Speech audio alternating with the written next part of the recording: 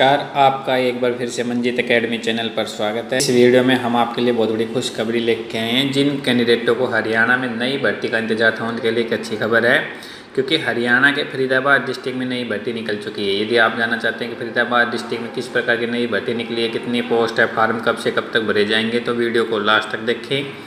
आपसे एक रिक्वेस्ट है कि वीडियो को लाइक से ज़रूर करें, क्योंकि हमारी आने वाली वीडियो का नोटिफिकेशन आपको सबसे पहले मिल सके। चलो, अब शुरुआत करते हैं।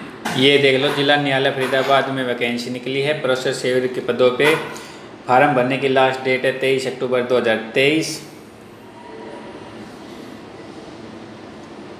योग्यता दसवीं पास, महिला पुरुष दोनों फार्म भर सकते हैं ऑफलाइन फार्म भरे जाएँगे। पंद्रह पोस्ट हैं, निःशुल्क भर्ती है। पद का नाम है प्रोसेस सेवियर पंद्रह पोस्ट हैं।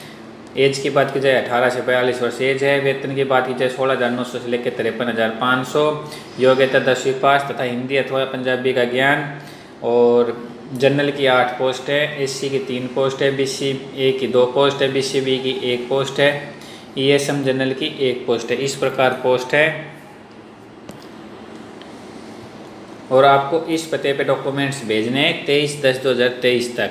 तो यही खबर आप लोगों को बतानी थी कि फरीदाबाद जिला न्यायालय में वैकेंसी निकली है। प्रोसेस सेवर के पदों पर जिन कैंडिडेटों को फॉर्म भरना वो भर सकते हैं, लास्ट डेट है तेईस अक्टूबर 2023 यदि वीडियो अच्छी लगी तो लाइक से ज़रूर करें। भगवान करें सभी का दिन शुभ रहे।